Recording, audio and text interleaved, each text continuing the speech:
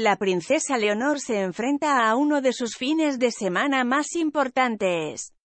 La primogénita de los reyes Felipe y Leticia ha regresado del WC Atlantic College de Gales para estar presente en la entrega de los premios Princesa de Asturias, que tendrá lugar mañana viernes 22 de octubre en el Teatro Campo Amor de Oviedo. Por fortuna, la ceremonia y posteriores actos oficiales coinciden en el tiempo con la semana de vacaciones que el centro suele organizar por estas fechas, así que la heredera al trono no perderá un solo día de clase.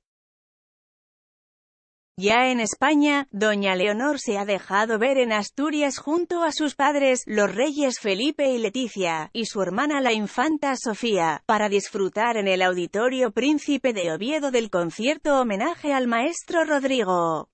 La familia real ha vuelto a ofrecer una imagen de unión en la que ha destacado el atuendo de la princesa, mucho más adulto que a lo que suele acostumbrar.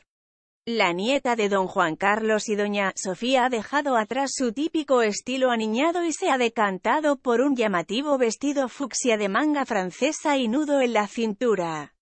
Todo un acierto para su primera gran cita tras su regreso de Gales. Por su parte, la reina Leticia lo ha apostado todo al verde y ha escogido un elegante vestido decorado con plumas en el lateral, mientras que la infanta Sofía ha sido fiel a la discreción habitual en ella y ha optado por un sencillo atuendo azul.